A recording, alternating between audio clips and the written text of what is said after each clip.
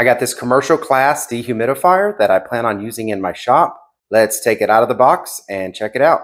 And this is everything out of the box. So this is the main unit right here. It comes with a manual and two size hoses and a pretty decently long power cord. So on this side of the unit, you've got the control panel here where you set all the settings. You got a really large output here and ports over here to expand it. You got the specification sticker here, the model and everything on it. This is the Sentinel HD 35P. And then here is the filter where the air goes in and it is removable and easy to clean. All right, so I've got this plugged in. When I turned this on, the relative humidity that this was detecting was 82 and it's already dropped down to 76. So here is some of the setup. Of course, you got to plug it in. You've got your control panel here, which is explained very well in the manual, but we'll go through some of that.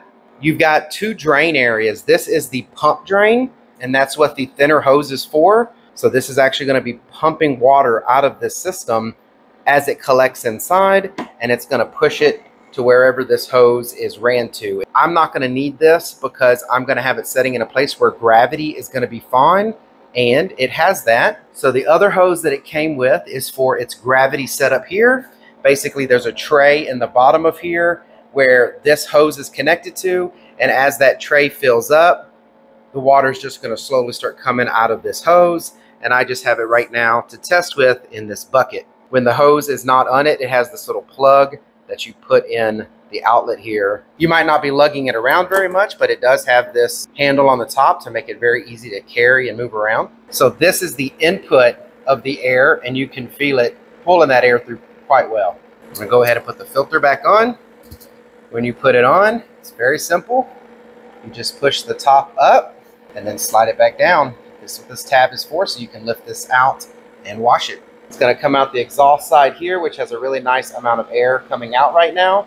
And as you can see, now the water's already starting to build up and come out. We've got a couple dehumidifiers in the house that are just room units. They're louder than this, and this is a way more heavy duty unit than those are.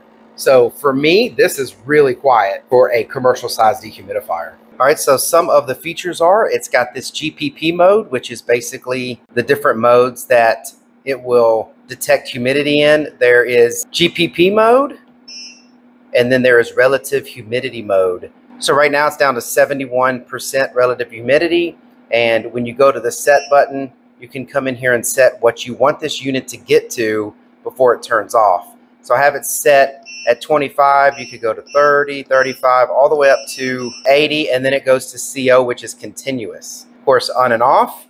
This lets you switch between the type of drains. Right now I have it on gravity drain, but if you wanted to turn the pump drain on, you could press this button. And now the pump's gonna run to try to drain out any water that's there. I'm gonna turn that off so it goes back to gravity drain. And as you hear the pump turned off. And that's basically it. Very simple design, does what it needs to do without all the extra complications and confusion.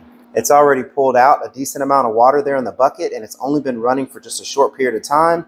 And, you know, if you see, I don't have it at a really great slope, but there's water even building up in the hose. So this definitely is going to pull out a lot of water. It's quiet. It pulls the water out of the air well. I can already feel it getting more comfortable in this garage. I think it's going to do exactly what I intended it to do and pretty well. All right, so I hope this video was helpful. Thank you very much for watching. Y'all take care.